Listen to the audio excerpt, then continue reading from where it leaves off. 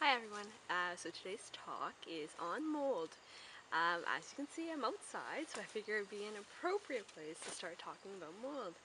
Um, mold affects a lot of people.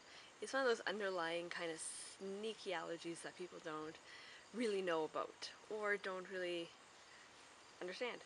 Um, mold sensitivities are now becoming very, very popular, and they always have been, I guess, very popular. Um, they're, it's very common. Um, it's easy to be exposed to it. Well, look at me. I'm outside. I'm under a beautiful tree, and the maple tree is right in front of me. Um, leaves are changing color, dropping to the ground, rotting, and mold.